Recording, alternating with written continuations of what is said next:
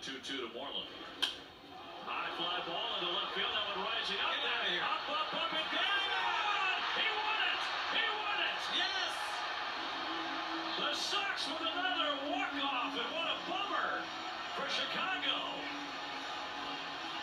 3-2 the final Moreland. The hero tonight